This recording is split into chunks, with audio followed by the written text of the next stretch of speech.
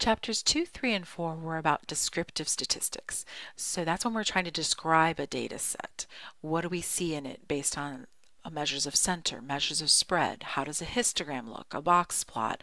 What if there's X and Y? Can we come up with a linear regression model? And what does the scatter plot look like? In chapters 8, 9, 10, 11, and beyond, we want to infer, right? Inferential statistics is where real statistics lies. So we want to be able to make those leaps into the unknown because inferential statistics is when you take your sample and you infer about the unknown population because you can't go poll everybody. You can't do a census all the time. So to be able to make that leap, we need to have a mathematical system for dealing with uncertainty mathematical laws and rules, and those will be the rules of probability. So probability is the mathematics of uncertainty. So it will give us numerical ways to measure the future, to measure things that we don't know about yet. And that'll be very, very, very powerful. Now, to be fair, probability literally could be, well, course after course after course on its own. So we're just going to try to hit the highlights so that we can do what we need to do in later chapters. Now, before we can do any of that, because we're going to use probability for the rest of the class, right? Even at past 5, 6, and 7, because we're going to use it to do the things we need to do in chapters 8, 9, 10, and so on, we need to have some definitions and rules. So that's why we start in section 5.1. So the rules of probability. So first thing we're going to do is the definition. So probability is any, excuse me, a probability experiment is any process with uncertain results that can be repeated. And the probability is the proportion of times the event occurs in a long run as a probability experiment is repeated over and over again. Now, these two things taken together are called the frequentist definition of probability. There are actually other ways to deal with probability, but for our purposes in statistics, this is the most appropriate for us at this level. So, oh, probability measures the likelihood of events that have yet to occur, things that haven't happened yet. So, things with the future, things that are uncertain. And the symbol for it is P parentheses something. So, if it's an outcome O, you call it P parentheses O. And if that's looking familiar to you, if you've ever been in algebra class, you might have seen this notation. It's function notation. It's saying f is your function name and x is your input. It's very much the same for probability. Probability will be a function for us. Every outcome will have its own associated probability and can only have one probability. That makes it a function. So the parentheses there is not acting as multiplication. The parentheses there is acting as the name for this thing. So it's the probability of O. Of is the parentheses. All right, so um, we write probabilities as decimals, percents, or fractions. We use different ones depending on different contexts. Decimals get used a lot in statistics. Fraction gets used more in like pure probability. Uh, percents are really useful for interpretation pieces. So it's which one you use depends on the context of what you're looking at.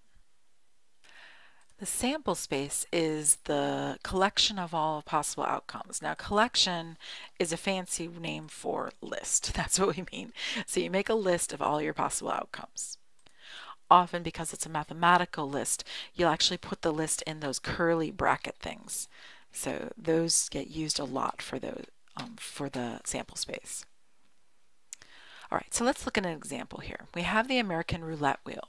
Now the American roulette wheel is an example we're going to go back to a lot in this chapter. So it has 38 spaces. The 0 and 0, 0 spaces are green in color. The rest of the spaces are numbered 1 through 36 and are evenly distributed red and black. Now if you're thinking, geez, do I have to put that on my note sheet? No, you do not, because I actually give it to you in your appendix note sheet. Remember that this exam notes packet in your appendix of your course pack will be given to you when you take your exams. And I actually have a bunch of probability information in there. So these are the most common types of dice. We'll talk about that later. We'll come up with this distribution later. The standard poker deck, um, a lot of people don't play cards. So if you don't, this is what the poker deck looks like. Probability rules. And then there's all the roulette stuff. So there's two pages of roulette stuff. So you don't have to memorize it. You just have to use it. And you'll notice that the zero spaces, zero or zero zero and American roulette, are green. That's something to keep in mind. So if you're colorblind, make sure that you note it.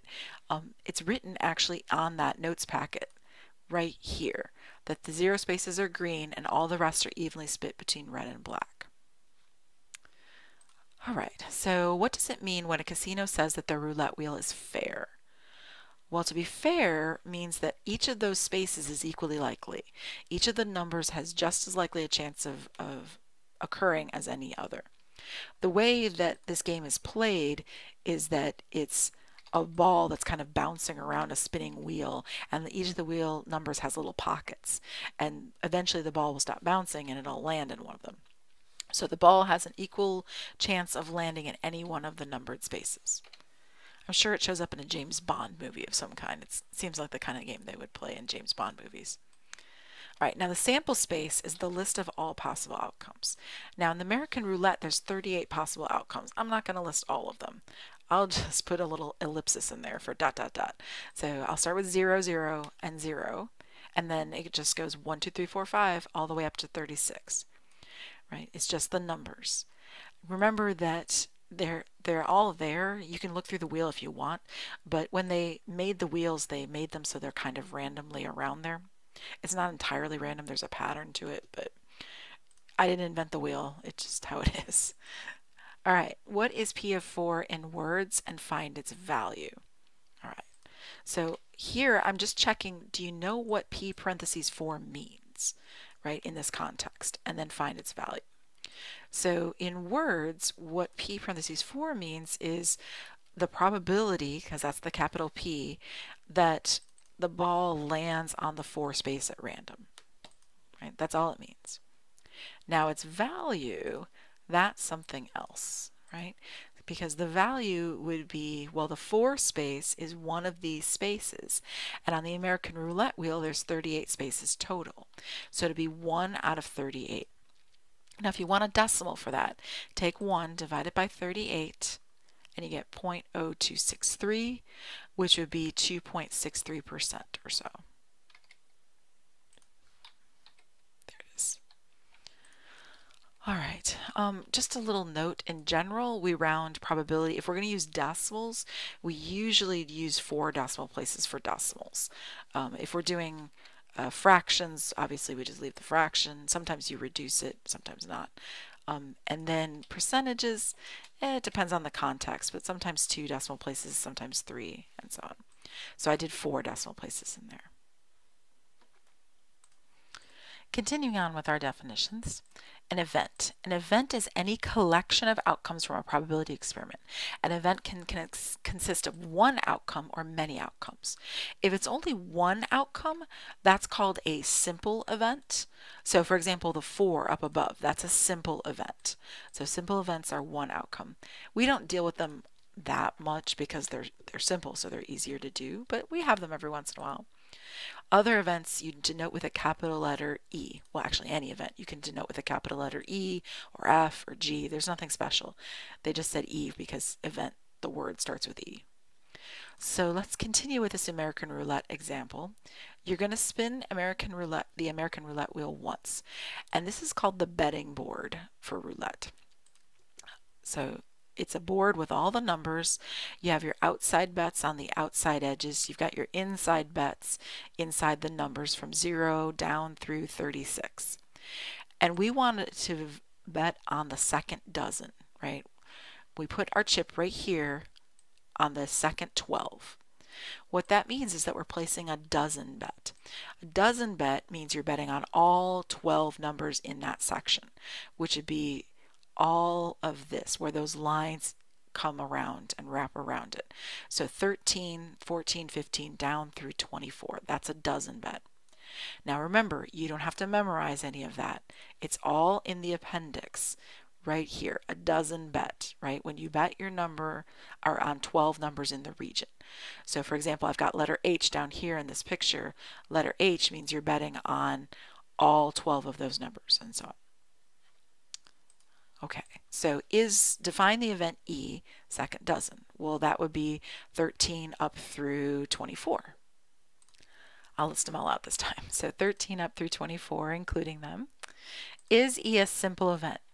well, no, no, no, right? E is not a simple event. There are 12 ways that you could land on the that second dozen.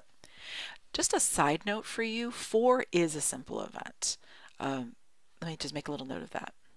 I just added a little note right here um, that event E is a simple event. All right, so then this event E, right, you can have lots of different events. Usually if you're going to do multiples, you'll name them E, F, G, and so on. But this event E, which is the second dozen, is not a simple event. So we're going to find the probability of E. Well, we already know what that means in words, so they just want us to find the number. If they wanted it in words, they'd say, you know, in the context or something like that. So they just want that number. And now let's think. There's 12 numbers in that that is in the second dozen, and there's 38 numbers total. So the probability of E is 12 out of 38, which is 0.318 or 58 or 31.58% because that's I wouldn't lie to you. That's what 12 divided by 38 is. Great. I think I'll add to this a little component here that just says explain its meaning in this context. So if you want to explain what P parentheses E means, it's that there's a 31.58% probability that the ball will land on the numbers 13 through 24 by random chance.